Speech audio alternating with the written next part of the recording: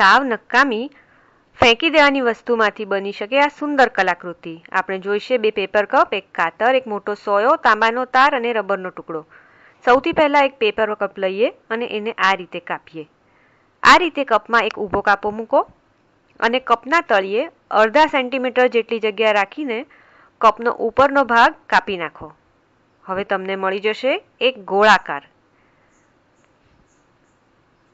બીજા કપમાંથી પણ આવો જ એક ગોળાકાર કાપી લો. બંને ભાગમાં કેન્દ્રથી થોડી દૂર રેખાઓ દોરો. આ રેખાઓ ગોળાકારની વચ્ચે ના હોવી જોઈએ. અને હવે એના વડે જે અર્ધવર્તુળો થાય તે કાપી લો. આ અર્ધવર્તુળોને ઉતરતા ક્રમમાં ગોઠવી દો. સૌથી નાનું ઉપર, એનાથી મોટું એની નીચે અને સૌથી મોટું સૌથી નીચે.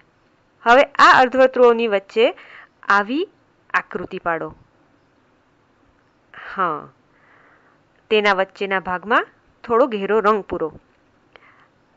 આ ઘેરા રંગવાળા ભાગને કાપી લો. આ ભાગને કાપશો એટલે બનશે પાંદડીઓ. જોયું? બની ગઈ ને પાંદડી?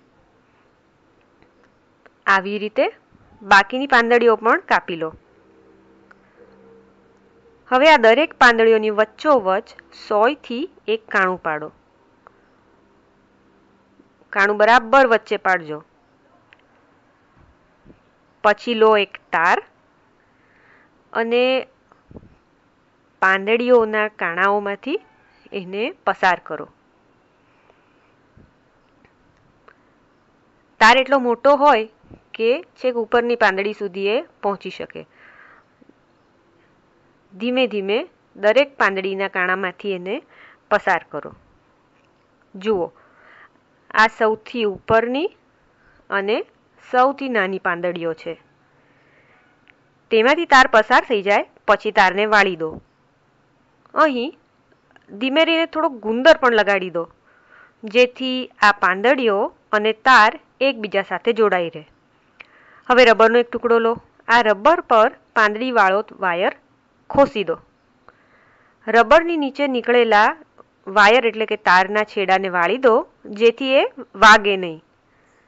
અને જુઓ તો, તમે કેટલી સુંદર કલાકૃતિ બનાવી નાખી છે. આ કલાકૃતિ સાવ નકામી વસ્તુઓમાંથી બની છે.